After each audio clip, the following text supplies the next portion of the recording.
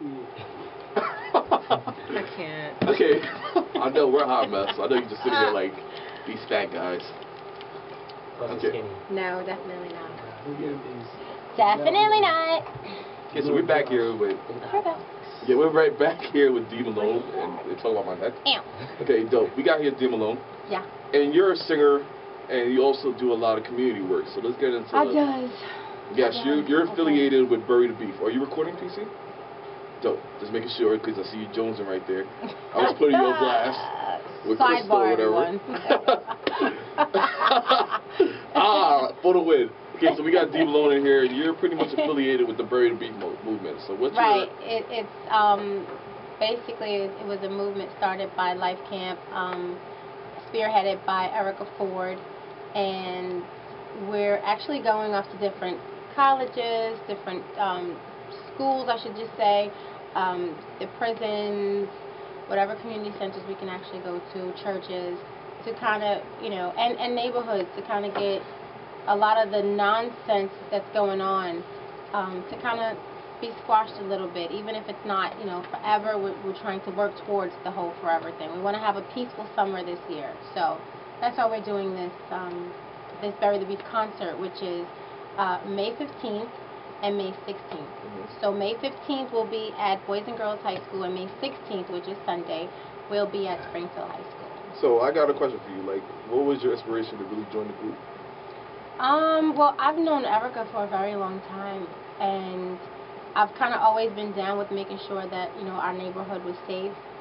So, you know, when she told me that she was doing it again, she asked me to kind of help out with the whole music department and be the musical director, and so I was like, of course, I, I, I would love to. Dope. So So. talking about performances, I forgot to ask you about this question before that. Like, where have you performed Oh, gosh. besides besides those two areas that you just mentioned? Um, I performed at the House of Blues in Atlantic City. Um, I've done a couple of clubs out here in New York. Uh, so many of those, I just I couldn't even name them all. Like, do you have a favorite spot? I don't have a favorite spot yet. Really? I really don't. Dope. I don't. But um, I've performed at Bar 13 a good couple of times. But no, I don't have a favorite spot. I think that um, the House of Blues was absolutely euphoric. That was amazing. That was truly amazing. But you know, I'm looking to do plenty more. You know, I've performed out in Monaco, um, in the French Riviera. So I, I don't know if I, anything I want to be there. I want to right go there. now. Next time you go in there, I need you to put me in your luggage. Yeah. You Yo, you, know, would need a- I love Monaco. It's so, so, so amazing. I mean, it's I've performed It's hot. in It's hot Italy. though. I heard it's burning though. No, it's beautiful. It's hot, but it's, bre- it's beautiful. It's great. The- for fat Depends you know. on what time of the year you go. Great. What time of the year did you go? I went in the summer, but it wasn't that hot. It wasn't that bad. You playing tricks on me? Yeah, oh, you know what? I don't know. I, I'm sorry. I'm sorry. It, it, it might Yeah. actually be extremely hot for you, but it wasn't that hot for me. Oh, for me. That's a fat joke. That's a fat joke. no, because I'm saying you're, you're, you're saying how hot it was. And Shut I'm, up. Don't do don't take my phone. Yo, so if you leave here with my quote, I'm gonna get I'm you. so not, because I've used it like a million times. I'm over Don't, it. don't judge my flaws. That's the what it is. I might see you say, "Don't judge me," but the first time you Yeah, say, "Don't judge say my, that. by, by my flaws," yo, I'm gonna jump on you, son. Yeah, you don't have to worry about that. Let's make it sure. Okay, so I got a question. Like, what's the what's the next mixtape that you're gonna be? Are you gonna be drop? What's like? Um, you know, it's crazy. I was going to actually do another mixtape, and I have an actual international DJ. Shout out to DJ Lucky Styles. He's actually trying to get me to do uh, an international mixtape. So that may be the next mixtape that I do. Um, there are like a couple of DJs that want me to do mixtapes, so I may do a few more. But I'm actually working on my album right now. So I will not tell the title because everyone wants to know, but you, you Okay, I'm be. there's a few Can we get like a hint? Nope. Does that have anything to do with stilettos or tattoos? Nope. Stop lying. I swear. You're lying. That's, that is so Queens right there. That is so Queens. I remember chicks used to do that like what 2000. Yo, I swear. I was like, Yeah, no, no, no.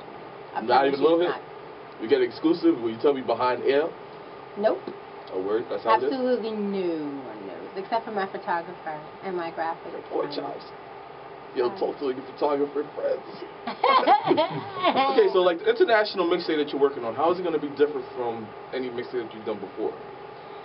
It's probably going to be, um, see, the, the first mixtape was a couple of freestyles. Um, I guess that's what they call it, where I just redid a couple of people's popular records over. This one may be more catered to me. Like it may be more of my records and a few freestyles thrown in there. Like you said international. When you say international, Yeah, I'm meaning like London. I'm thinking about like maybe some fist, fist pump music. Yeah, baby. Yes. yeah, I'll be fist pumping all the time. Yeah, yeah, yeah, I love the fist pump. Love it. Yeah. Yeah, the Uh-uh. fist pump is what we do. Yeah. yeah, yeah. Yes. So yeah, it'll be something like that. Dope. Yeah. So like, who would you like to work with in the future? That's the last question. Then Uh, Kanye. Yeah, I know, I know, I know. Kanye is such a ding dong in, to, to certain people, but he's just uh, to me he's a genius. He is a genius. He's Yes. stupid talented. So I'd love to work with Kanye and I'd love to work with Drake. okay. So the last question I have for you. This is my very last question. Okay. What's next for D Malone? The album, the mixtapes. Um, you can catch me in a couple of magazines. Um, and of course, doing some shows. And if you follow me on Twitter, you'll know everything. And then if you go to my website, which is dmaloneonline.com, you'll get updated. Okay, so we're gonna get into the last song. What question do you have? Is it- is it Yo, you should. You guys gotta hear his voice. Oh my god. Everybody knows his voice. It's not like Macho Man, son. Yo, when he first started talking, I was like, oh my god. Yeah, I thought it was kidding. I, I got a two-part question. But you, if you saw him, you would never believe his voice sounds like Yo, he this, looks like somebody from. Goodfellas. Two part question. Okay, go ahead. Going back to the tattoo. I can't even take you seriously. Okay, come on, come on, come on. Okay, go ahead. Do you have any you regret at all? Nope, And are any of them musically inspired? they're all musically inspired. Ah, Yeah, and I have absolutely no regrets. I have um, a tattoo that that spans from my ribs down to my calf. Um, I have Mm. one that I just actually got touched up. Shout out to uh, Detached Star at One Stroke Tattoo, the Stroker Girls.